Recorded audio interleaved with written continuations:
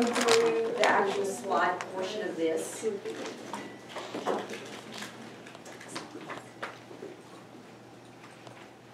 We kind of, we have all kinds of neat stuff. Uh, Professor Law, Twelve went over and collected all this, got it all together for you.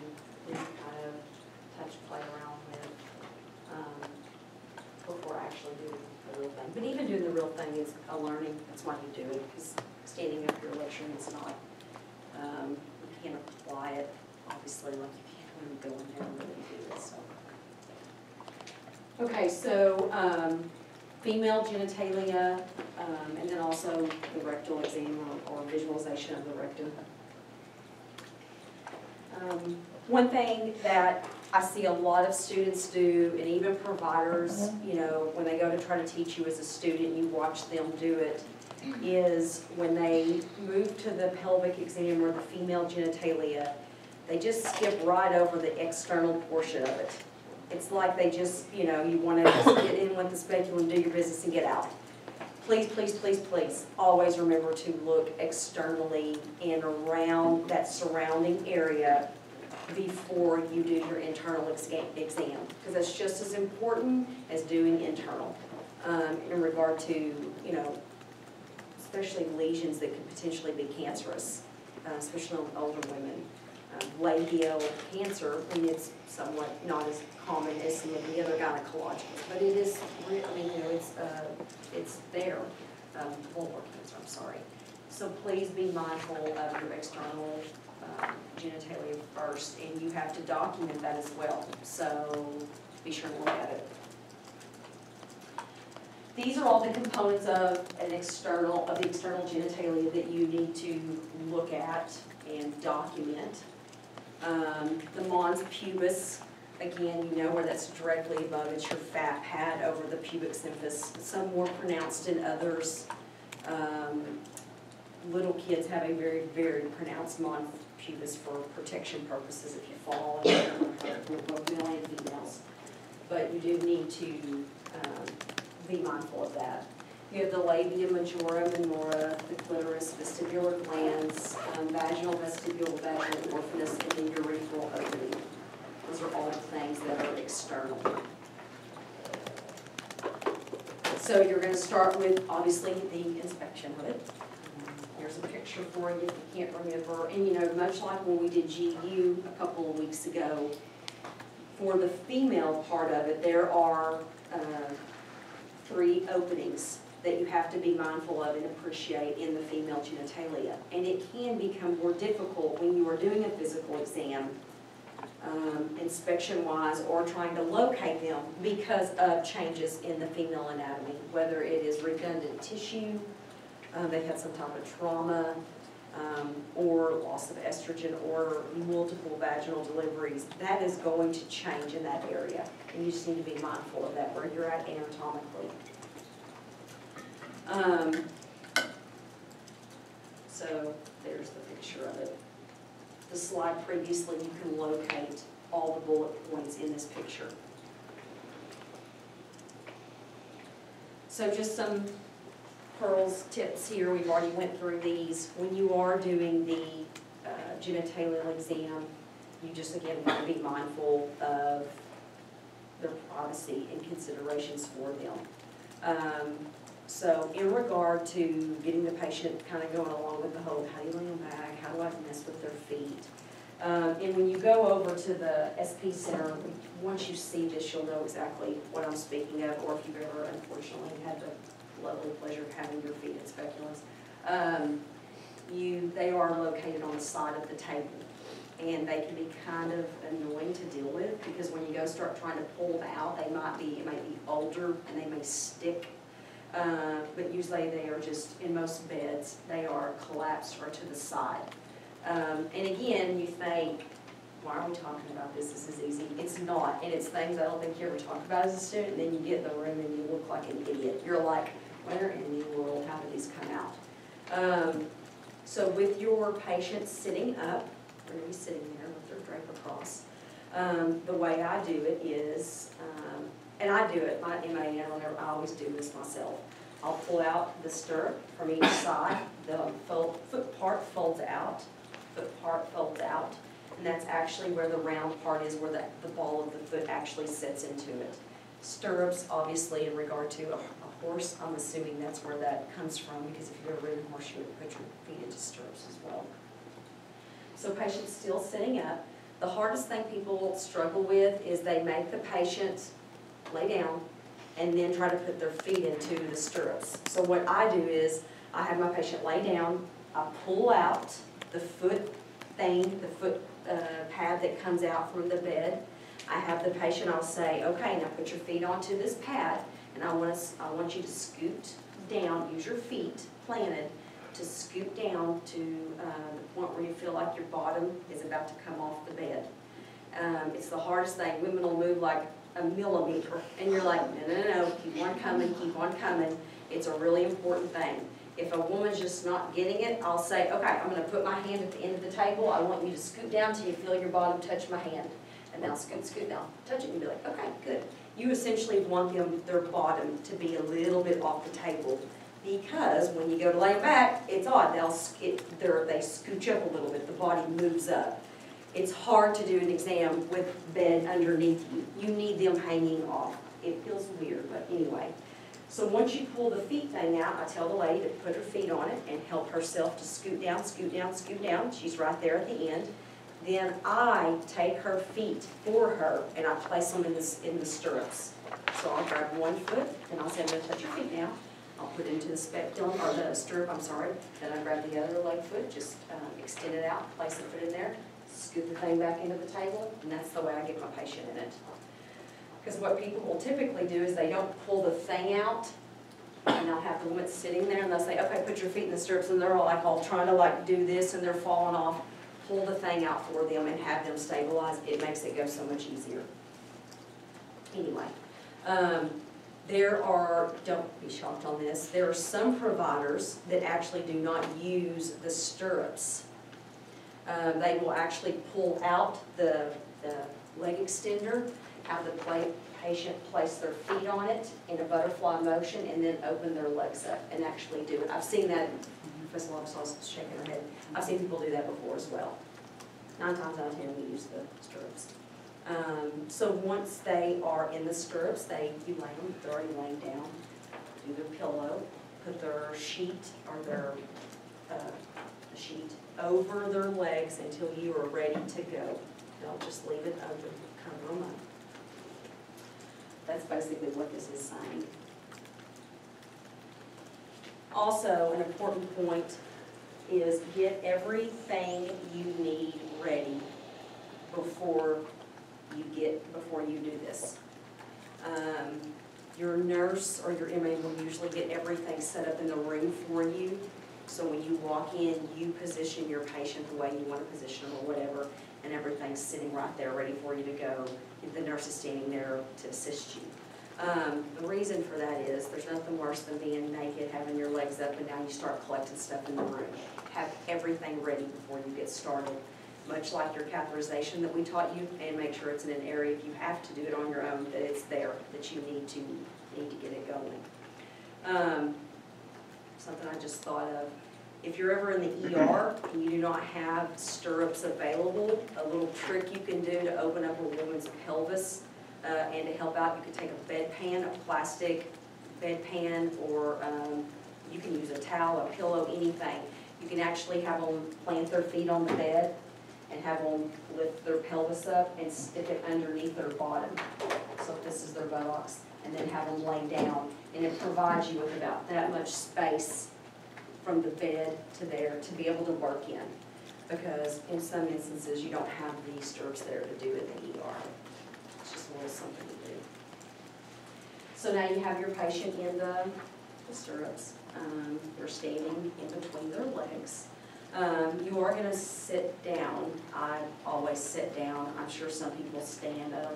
No, I don't do that. Um, I sit down, you're gonna have your light there for you to make sure you have good lighting. Um, there are some rooms that, or some places with the light, and I have a picture that's actually built into the bottom of the speculum. It's really fancy. You're, you may have ever seen that before. It's a plastic disposable speculum, it's a tiny little light, it just attaches right into the bottom of the speculum, it lights up the speculum. So when you go to insert, it lights up everything. Nine times out of ten though, it's gonna be a good old fashioned headlight, headlamp that you're gonna like pull down to actually be able to visualize what you're working with, right?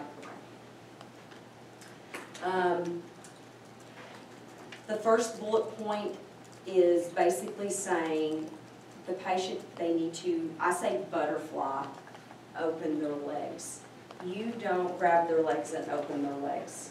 You tell your patient, would you please just relax, let your knees, your legs fall out to the side. That's what you say. Um, a lot of times, women are nervous and they won't. They'll just, they'll, they'll open them up like that right there, naturally, right? Just say, keep on, let them out, and if you have to, to, sh- to show them, to coach them, just grab their knee and just say, okay, relax for me, relax, relax, and pull it out for them. Show them if they're not getting it. Does that make sense? But the more they open their legs up and let their knees fall out to the side, it will loosen up their pelvic floor, their pelvic muscles for easier insertion and integration. So once they're, um, they say neutral position, so once the legs are open, now you can take your drape, and then I just take it, and again, I don't fold it over the knees, I just roughly place it around the area that I'm looking. Just kind of tuck it into their inguinal folds, their thigh folds.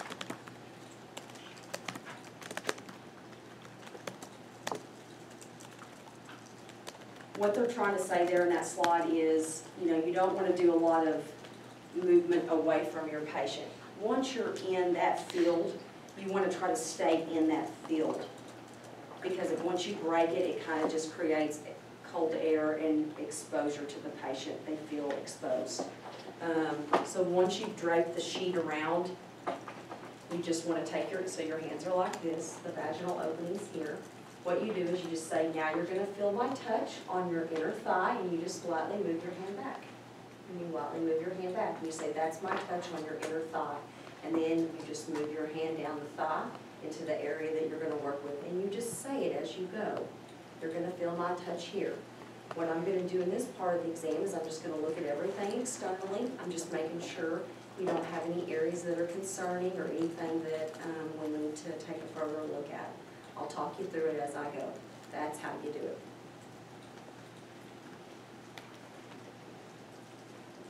it. So this is just breaking down those different components of the body parts that you're gonna look at, the anatomical places. Mons pubis.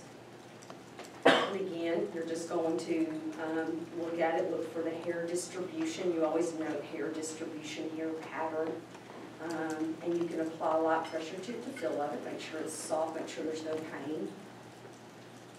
Then as you move down, labia majora is the outer portion of it that's larger, labia minor is the inner portion. Um, and then you just, again, just go through those parts and visualize areas of redness, moles that look funky, um, excoriation, rashes, ingrown hairs, but you just look for all the things that we've introduced to you throughout the didactic thus far.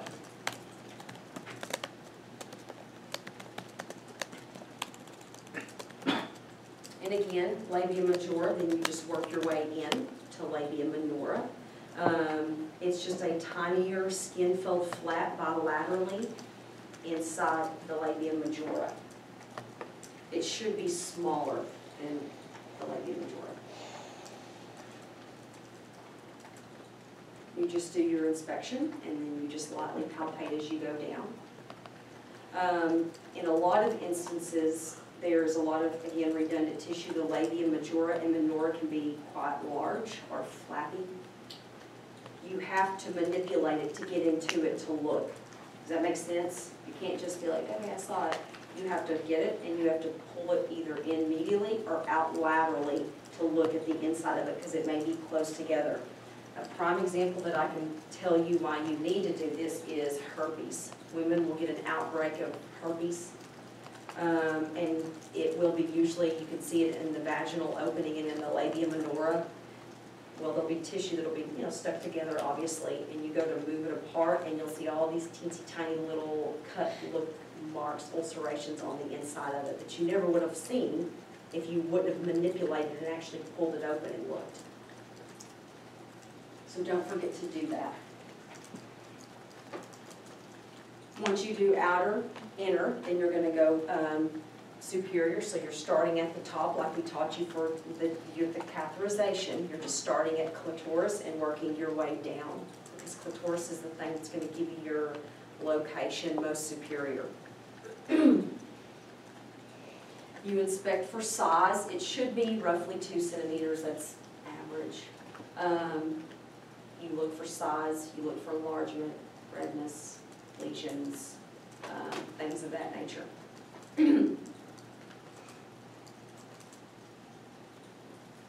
As you move down kind of posterior, so now you're going to the bed, you're moving down towards the bed, then you look at the urethral orifice. Um, You just look for location, size of opening, um, any discharge from it, does it look red? Those are the things that you're gonna note.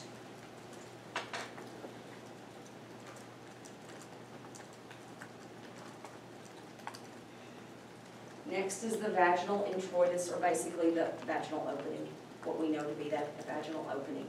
Um, But again, you want to comment on the opening itself before you go in and look at the vaginal wall, uh, before you do your speculum insertion. And again, you're looking for all those things that we've repeated multiple times.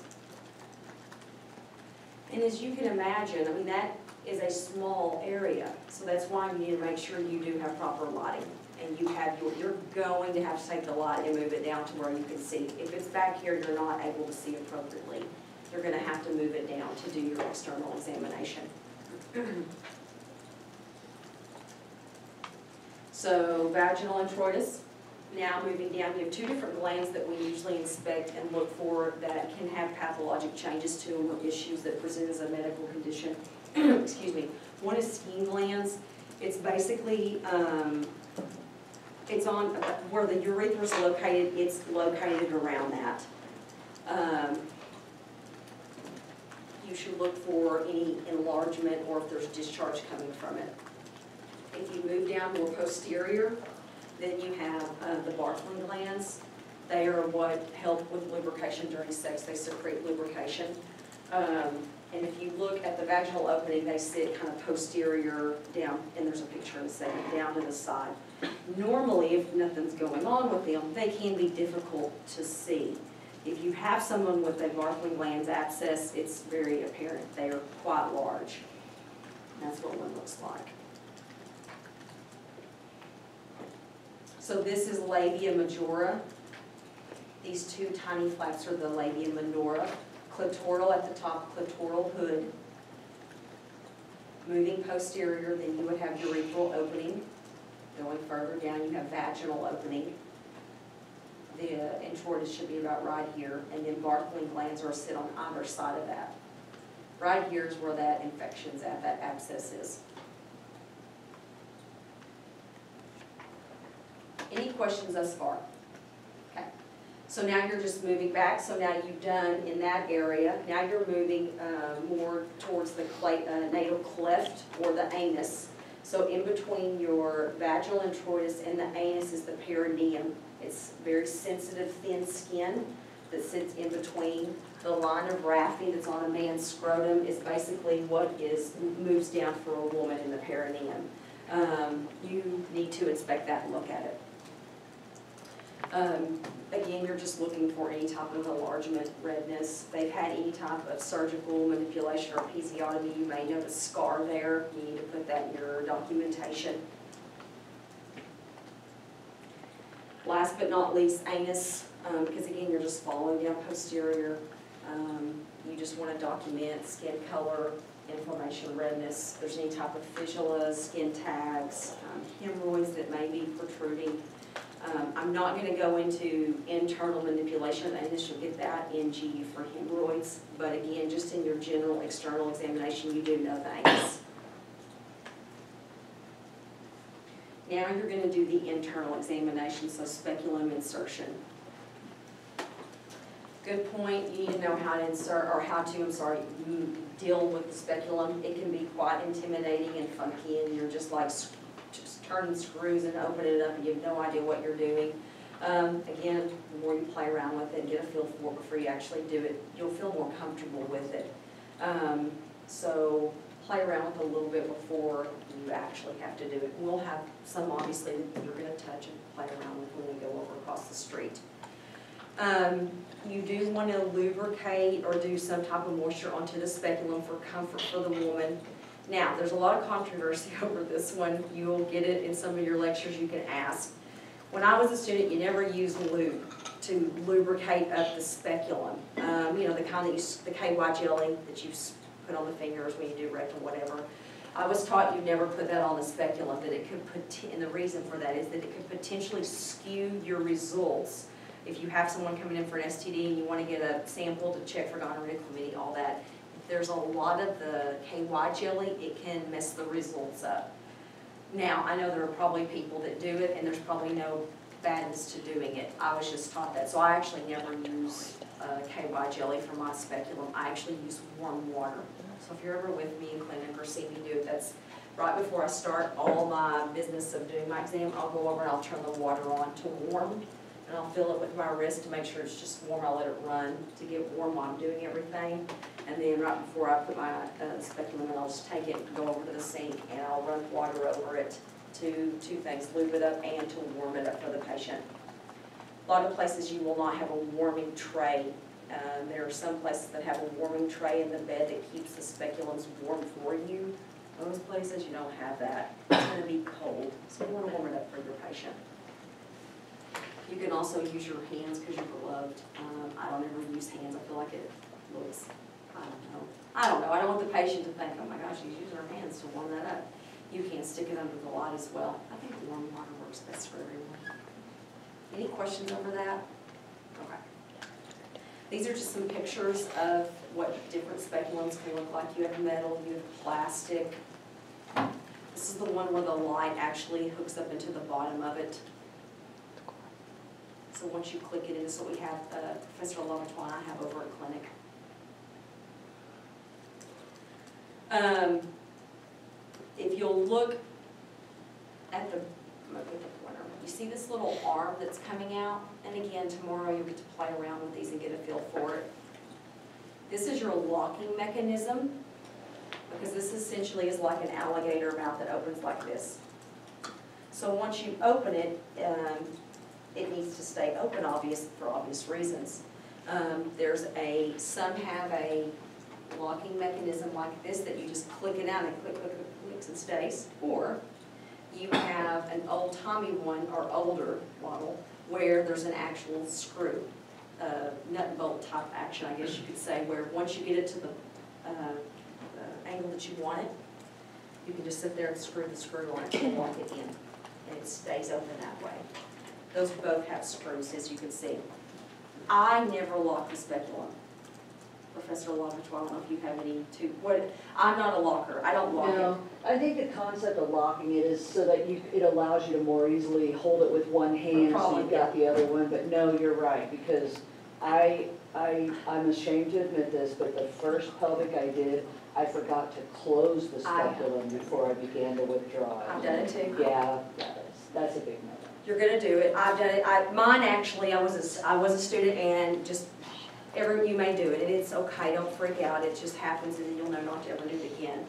Um, and be mindful of this, you know the chairs we all have in clinic that has the round top that does this bit? I was a student, and I went to go sit down on it, I had the speculum into the lady, and I had my toes back, and I lost my footing, and I like started to turn and slip, and I just pulled it right out of her. Um, you know, it, with it open. I don't ever lock it for that reason. If you lock it, it's there. If you don't lock it, it collapses. And I feel like if a patient starts to get freaky on you, like that hard stop or gets, your, you can just close it very easily and pull it out. But if you're with the preceptor and they're all about locking, you do what they tell you to do until otherwise. Okay. Um, so insertion of the speculum. Um, you know, it just takes practice, just like anything else. Um, but essentially, whenever you have the vaginal introitus and you're looking at it, you're ready to insert it. Um, you are going to take speculum, again, whatever hand is dominant and comfortable for you. Um, I usually use mine in my right hand, that's where I put mine in. You use your other hand to help open up the vaginal introitus, uh, or opening, when you go to put the speculum in. So what you do is, if you have the speculum in this hand, I'm using this hand, I use two fingers, and I'll say, you're gonna feel my touch at this point, I'm gonna, um, place my fingers in your vaginal opening.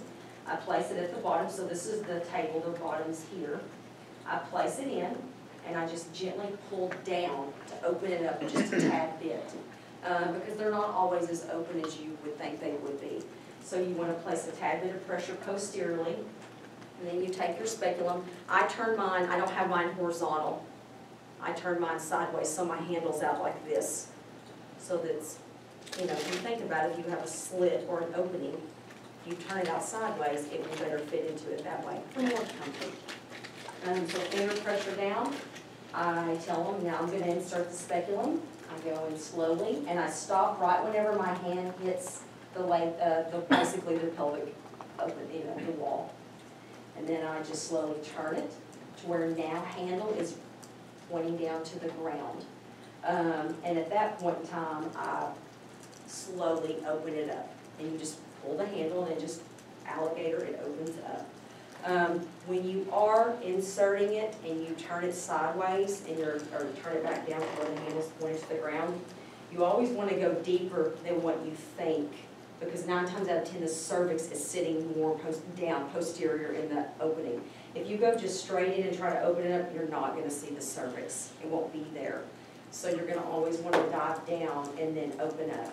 Don't ever freak out if you, it's gonna happen, it happens to me now, if you open it up and you do not see the cervix. It may not pop into view, it's not this magical thing that, oh, it's there. Um, if that, then that's okay, you just close it, pull out a little bit, and then go back down again and open it up and try to look for it.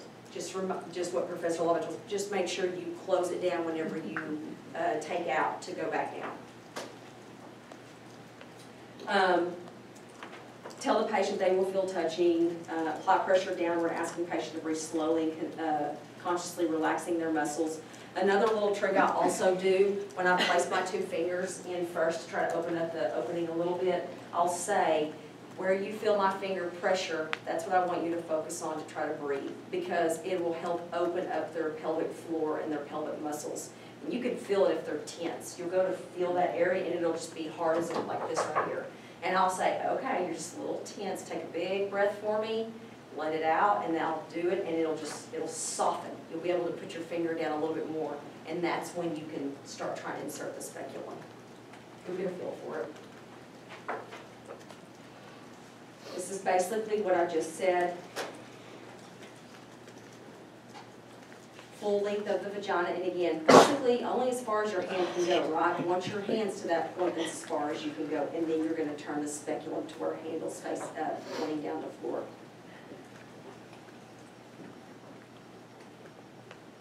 Bullet point two is just reiterating or saying, if you do not pop it into the speculum, you can obviously close the speculum, pull out a tad bit, and go down further towards the table, towards the table, to try to re-get the, to try to find the cervix.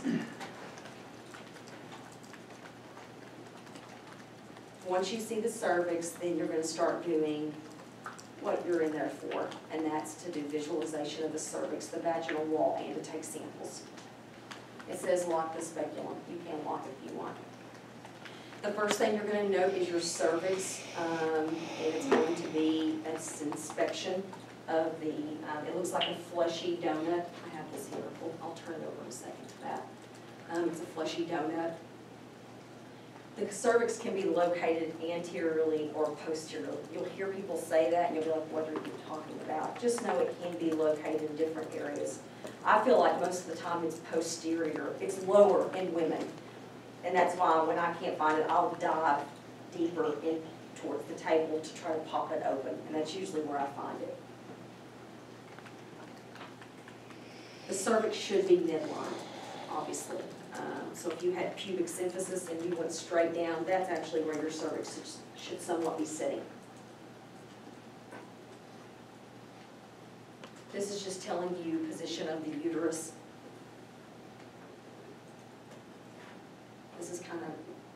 We get to the uterus, this is how you would actually want to know that the normal uterus should feel and shape-wise, but we're still focusing on the cervix. You want to know color of the uh, cervix, surface characteristics, you want to know discharge, you want to know size and shape of it. So color, it should be pinkish in color. It might be, you don't want to see red, bleeding. Um, a bluish hue to it is uh, potentially a sign of pregnancy. For increased vascularity of the cervix, it looks like a bluish hue, and that may mean they are pregnant. It should be smooth, um, much like, you know, no rugae, no projections, no fingers on it. There shouldn't be any divots or depressions, lesions should not be there. It should be a smooth, glistening pink look to it. Discharge, that's another way you'll know you found the cervix, is if you see where liquid's coming from, you'll know to go to that area, because that's where the discharge is coming from. Um, so, know anything coming out of the actual cervical opening. Um, and just know, there may be discharge coming out of it, and that doesn't mean anything bad. We all have physiological discharge, it's just part of being a woman. But you do need to know, know color, if it's bloody, um, frothy green, you'll learn later on what those mean, what that's indicative of. Size and shape, um, for a woman that's had a baby vaginally versus not, um, actually changes the cervical os.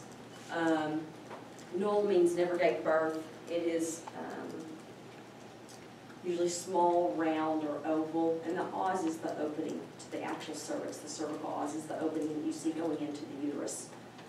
If they've had um, children vaginally, vaginal delivery, it will be more of a horizontal slit, it may be irregular. Stellate means it just has this look to it, not that this is bad, but if it looks like this, it may have kind of a look like this to it. This is the os or the opening versus this for null. Just a nice opening, so this is the cervix. That's kind of exaggerated big, obviously. So this is the open, just round oval. So these are the things you're going to note visually when you look at the cervix. Left, um, which they both actually look like, um, multi, like they've had babies. The one on the right is the stellate look. Do you see the little ridges or the, yeah, it's not circular and smooth. The next thing that you're gonna do is actually take your samples. Um, there are three different, usually in a kit, you'll get a, um, little, you've done lab ed, you've done this, so you know all the components to it, correct? Yes or no? So you haven't, you, someone said you've done the pap smear, have you done the pap smear in lab ed? Okay, so I'm not just, okay, okay. So you get a little container for cytology, what the cells go into that you send off. Then you'll have usually three different components in there that you use to take a sample to send off. Um, let me get to it. These are usually the three things that you will see in a kit. Um, now, I know different places don't utilize all three of these. Um, anyway. But now you're gonna take the pap smears, what you send off for, to, you know, make sure there's not any cancerous cytology or uh, malignancy. Spatula is the one that actually has a little lip on it. It's plastic in nature, there are no brushes to it. You project it into the os, the long, uh, the short arm goes into, um, uh, sorry, the long arm goes into the circle, the short arm is on the outside of the os, or the cervix, and you just rotate through one complete circle. And essentially, you should scrape off all of the cells on the outside of that. Then you take it and you put it into your, mate, and it goes into the cytology or the actual specimen jar, or they'll plate it sometimes. Which obviously, this is a reason why it's important to make sure you visualize the cervix. Because if you're doing a pap smear and you don't have the cervix, how are you gonna take samples? Next is just a brush, it literally looks like a uh, brush that you put mascara on with. You stick it into the os, and you rotate it one full time, take it out, they take it and they plate it for you.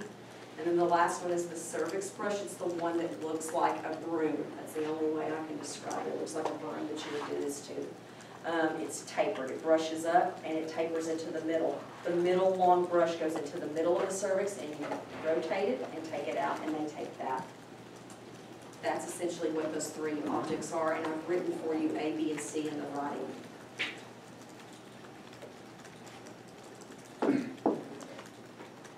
They can do the chlamydia and the gonorrhea from that. In order to take it out, since you've already taken your samples, um, one good really thing you need to be mindful of is you need to also visualize the vaginal wall as you are removing. I always do it when I'm re- removing my speculum. So if it's clear, a clear speculum, it's easy to look. If it's metal, you're like, how do I see through metal? But as you're slowly um, taking out the speculum, if it's metal, you just look at the wall that the speculum just left behind. Does that make sense? So as you're slowly, I, I leave a little bit of opening on mine so I can look at the vaginal walls I'm taking out. If it's clear again, you can see through it. But as you're retracting, you notice the vaginal wall all the way to the end until it's out. Because you know lesions, redness, anything, you have to know the vaginal wall in your chart. That's a way to do it. Like Professor Lovitwell said, just be very mindful that you need to close it down before you actually remove. And remove And, and rotate it up. yes, sorry, thank you. The, you can read these, um, how you tell it to the patient, but the last thing you do is your bimanual exam. Um, you will, um, I usually change my gloves to a new set of gloves, because at this point in time, you're gonna take two of your fingers and actually go back in and insert it into the vaginal opening. So I'll change my gloves to clean, once my MA or nurse, whoever will give you, you can use lubrication at this point, have a little bit of KY on your two fingers, whatever hand you feel comfortable with. And you tell your patient you're gonna feel a little bit of pressure right now. Um, I'm gonna insert my two fingers. And you insert it in, and then you take your hand on top of the abdomen. That's what I'm doing. Um, I take the gown back, be sure to touch skin. And at this point in time, you're just feeling for structural changes or pain. So uterus midline, and basically you're putting your hand on top, fingers together, right? So feel for uterus midline, go over to the left and right, try to capture ovaries, try to capture ovaries. And then I'll move my fingers back and forth on the cervix to see if I can elicit pain by touching the cervix. And then I take my fingers out. That's what a bimanual is. I think I've told you this, if you ever have someone that's overweight or larger in this area, you are not going to feel their ovaries or their uterus. Don't panic, it's okay. You just document unable to palpate um, ovaries and uterus secondary to a large body habitus. Because it would be unrealistic, correct, to be able to feel that. You're just making sure the uterus is midline, you're making sure the uter, the ovaries aren't a huge honking mass on them. That's essentially what you're trying to feel for and palpate. Those are the actual measurements of what you should, and that's how you would document normal. It's just a picture of it.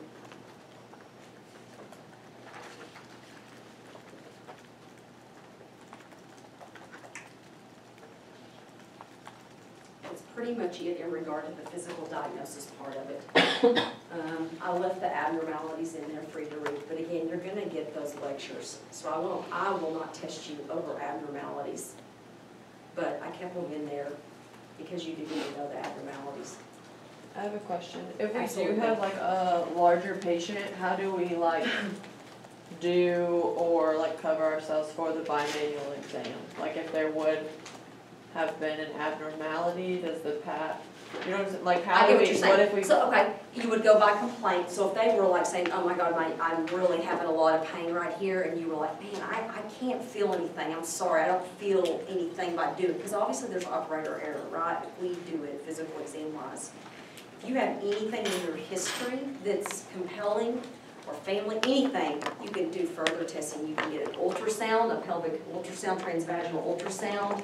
That's a great question. So like, let's say you thought, oh God, this patient have a raging ovarian cancer, but I can't feel anything. Or do more, order, order an ultrasound on them. If you're like, I can't feel this, but we're gonna do a little bit more to make sure something's not going on. The thing about the whole, you don't ever wanna document something not true. But then you're like, but I did it, but I didn't feel it, so what do I do? I don't know how to do that. You wanna show you at least tried it. But if you have someone that's overweight, no one's gonna fault you for saying, I was not able to, if there's that much adipose tissue between, you know what I'm saying, in between you, you will not feel it. You tried it and you said, I could not do it because of body habitus. Um, further, um, workup warranted. You can do that, that's okay. Does that answer your question? Yeah. Okay. And again, the rest of it, guys, is just abnormalities in here.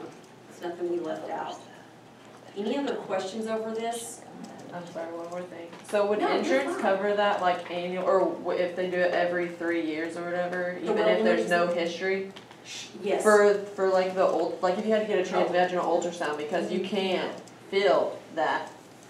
Well, no, it's if you think something else is going on.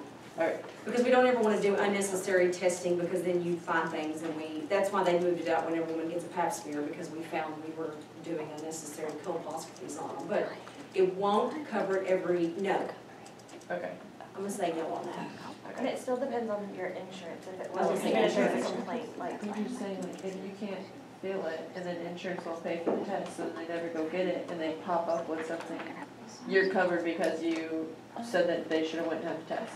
Right, if you really felt like clinically there was something going on that you wanted to further work up that I couldn't appreciate on physical exam because of whatever, me or body or whatever, and you think it's there, you need to go have them. I mean, or send them to the ER or something. Um, what we can do is, well, tell me your lecture schedule for the rest of the day? They've got a one o'clock, um, instructional faculty coming in, and Dr. McNeil's got a three o'clock, um, pathophysiology of the placenta. Okay, we can play around with this later. I can also, guys, if you guys, um, I can leave this stuff Yeah, here. yeah, we don't need left here. And you guys can, you know, this evening or tomorrow morning, Mhm. um, I just please ask that you be very respectful of it. We have borrowed it from the Kramer School of Nursing. Um, and, um, please use powder. The body, Virginia, the vagina, the, um, she is also set up, that I didn't name her, they did over, Sonia did over at the nurse- nursing school. She's set up for, um, students to practice laparoscopic surgery, that's why there's a slit where her belly button should be. Be very careful with this